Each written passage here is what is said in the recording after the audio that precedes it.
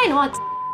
これはもうコツを知ってるか知らないかで点数がかなり変わってきます。Hi everyone, まいです。Welcome back to my channel! TOEFL の公式アンバサダーをさせていただいているんですけれども、皆さん、 TOEFL に公式オンライン模試があることを知ってますでしょうか？私も最近新形式となった2時間版を解いてみました。で、私の時には本当に長かったので、楽になったなとは感じたんですが、やはり時間との勝負っていうこともあって、プレッシャーは感じましたし、こう留学する前に必死に TOEFL の勉強してたのをもう思い出して懐かしい気持ちになりましたね。そしていよいよ7月26日から新形式の TOEFL が始まるので、受けるよっていう方は対策を頑張ってください。今日は特に TOEFL IBT のスピーキングを一緒に解きながら、もう私の攻略法、私が今までこうやって勉強して点数を取ってきましたっていうのを公開したいと思うので、一緒にやっていきましょう。まず TOEFL IBT のスピーキングセクションっていうのは、Independent と Integrated のタスク2種類に分かれていて、全部で4問あります。この動画では Independent と Integrated どっちも1問ずつ解いていこうと思うんですけれども、Integrated に関しては戦略がすごく重要なので、ぜひ最後まで見ていっていただけたらと思います。では早速解いていきましょう。15秒間準備する時間があって、で、45秒間答える時間があります。State whether you agree or disagree with the following statement. Then explain your reasons. Using specific details in your explanation. Learning through online courses is more effective than learning in the traditional classroom setting. 答えを用意する時間が、まあ、15秒間しかないので、すぐにもう agree か disagree かを決めます。自分がどっちの意見なのかっていうよりも、論理的な理由を思いつく方にすぐ決めた方がいいです。で、理由をできればこの15秒間の中で2つ考えられるといいかなと思います。で、まあメモする時間ほとんどないと思うんですけど、もしメモして、この順番に行っていこうっていうのが、パッて分かりやすいなって思ったら、私は、ま簡単に書いてることが多かったかなと思います。では、45秒間で私の答えを言ってみます。I agree with the idea that online learning is more effective than the traditional face-to-face education. First, it can be easier for shy students to speak up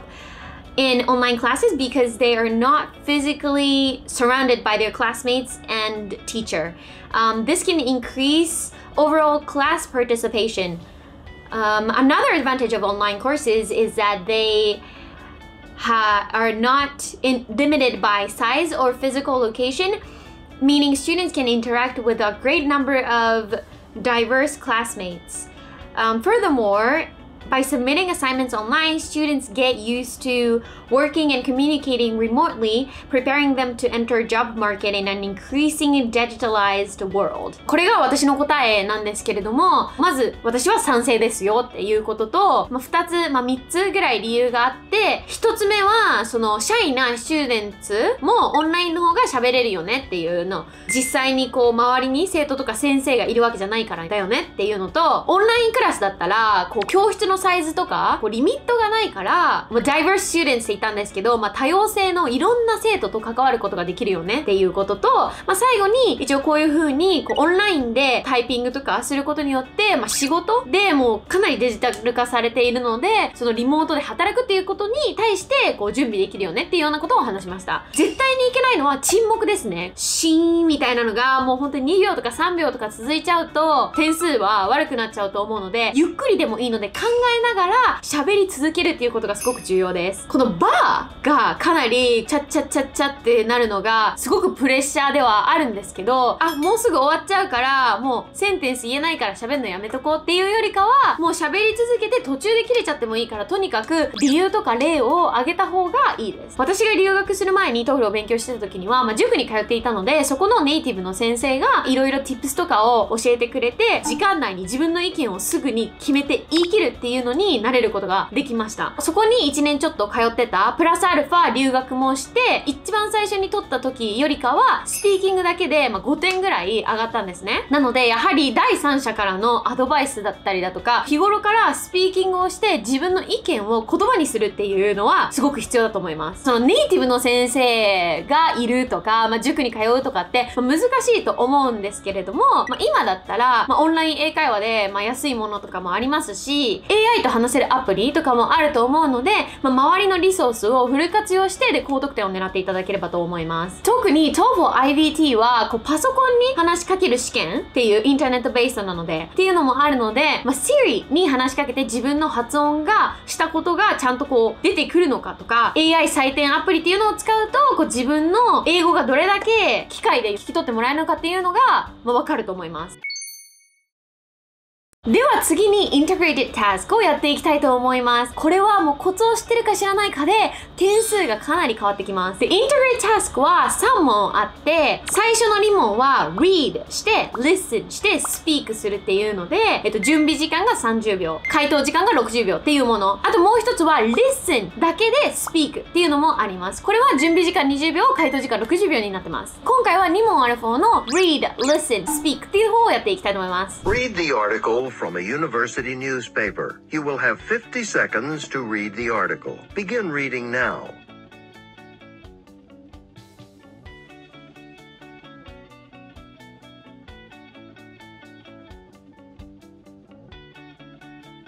ここでは必ずメモを取ることが重要なので、動画止めて紙とペンを用意してください。で、メモを必ず取った方がいいんですけど、紙の真ん中に線を引いて、で、左側を R、右側を L としてポイントをまとめます。で、私がこれに対して書くノートっていうのを載せておくんですけれども、で、 Integrated 問題は、reading で出たポイントが全て listening でも出てくるので、該当する箇所に穴埋めのように要点をメモすることが重要です。ちょっと私は丁寧に書くんですけど、もっと省略して簡略化して書いて OK です。Now listen to a conversation between two students.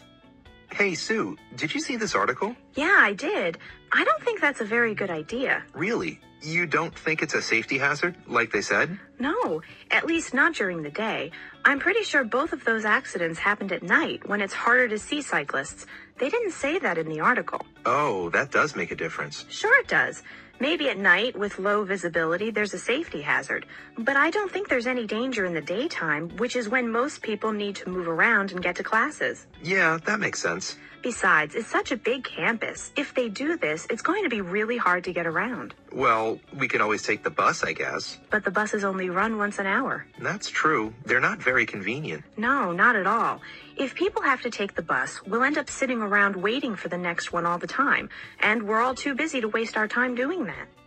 The woman expresses her opinion of the proposed policy change. State her opinion and explain the reasons she gives for holding that opinion. リスニングを経て私がメモを取るとしたらこういう風になります。リーディングは後で読めなくなっちゃうので必ずリーディングに書いてあることももうほぼ同じ言葉でいいのでコピペして重要だなっていうところを移す。で、それに対してリスニングの意見っていうのもそこの反対箇所に書く。で、このメモを参考にしながらこれを見ながらスピーキングをやっていきたいと思います。The university announced that they will be banning the use of bicycles on campus starting next semester.